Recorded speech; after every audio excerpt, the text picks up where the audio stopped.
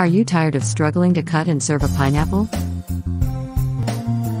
In this video, we're going to show you creative ways to cut and serve pineapples using the hook method. Get ready to impress your friends and family with your pineapple skills. Start by cutting off the top and bottom of the pineapple.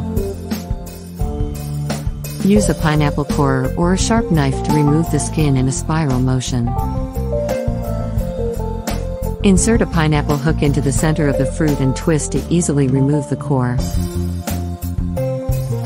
Slice the pineapple into rings or cubes for a beautiful presentation. Serve the pineapple in its own shell for a fun and decorative touch. Now that you've learned these pineapple hacks, it's time to put them into action.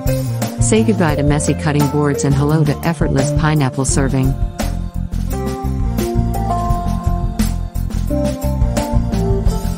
Your taste buds and guests will thank you. Try these tips at home and let us know how it goes in the comments below. Don't forget to like this video and subscribe for more helpful hacks. Thank you for watching.